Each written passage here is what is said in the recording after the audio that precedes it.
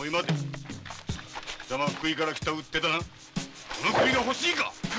人殺し！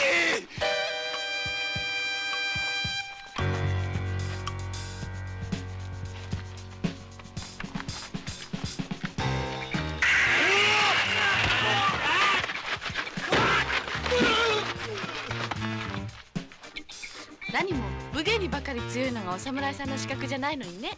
兄上様が臆病者などと言われてるせいなんです。プロに見出されただけあって剣と槍の腕は紛れもなく第一級だな。俺さけみれば。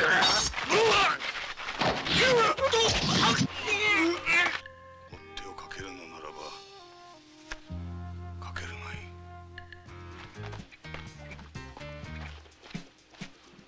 いその侍は人殺しだぞ！離れろ離れろ！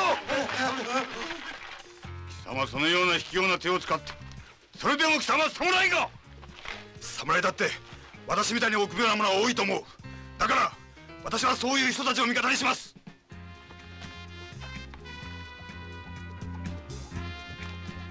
あなたにはお嫁さんがいらっしゃるんでしょ？私にですか？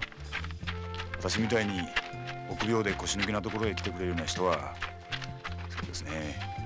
一人もいませんよ。では証拠を見せてください。証拠？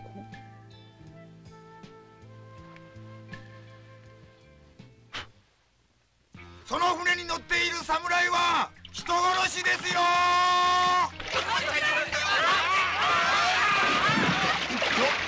あんたが溺れ死んだら私の役目が果たせなくなりますからね。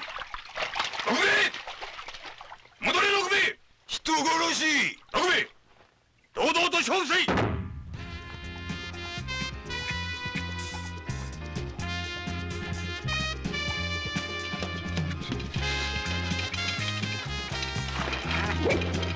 えい！